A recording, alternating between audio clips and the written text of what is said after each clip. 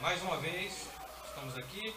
Antes de ler agora, não declamar, ler a poesia, vou falar sobre este livro, que é o Semente da Paz.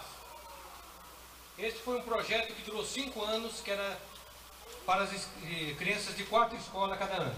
Era dado para cada criança, faziam poemas, tinham seus padrinhos e recebiam seus livros.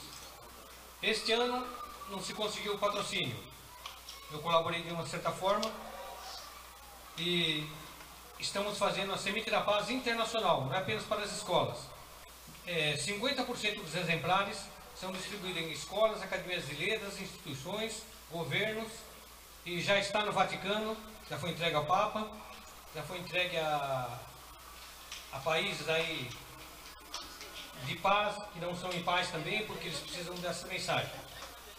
E todos aqueles que participaram estão recebendo um título de agente da paz pela divulgação que está fazendo pela paz. Esse aqui é o do Alexandre, que vai receber também agora. Eu? É.